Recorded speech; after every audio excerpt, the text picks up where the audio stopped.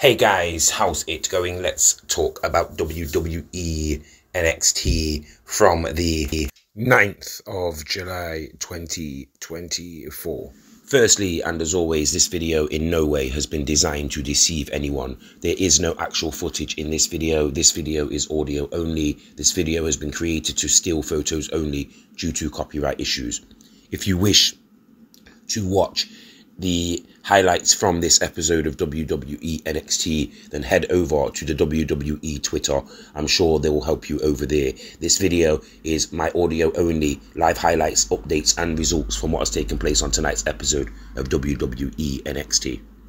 Welcome to Tuesday night NXT. We are on the heels of the incredible Heat Wave and Money in the Bank weekend. We are heading in, of course, towards SummerSlam on the main roster.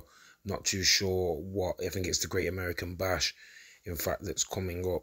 They announced it over the weekend. That'll be in July, at the end of July, I think.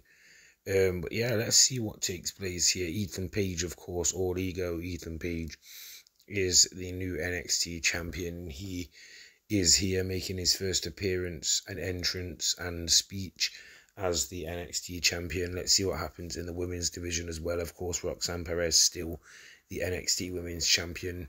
Um, and let's see what takes place. See if we get any people coming in from the main roster, any people coming in um, or uh, dropping in from the main roster or coming up from maybe over from Impact, etc. We had the appearance from Charlie Dempsey last week on Impact. Let's see if we get any re- rebuttal for that. NXT is, of course, live tonight.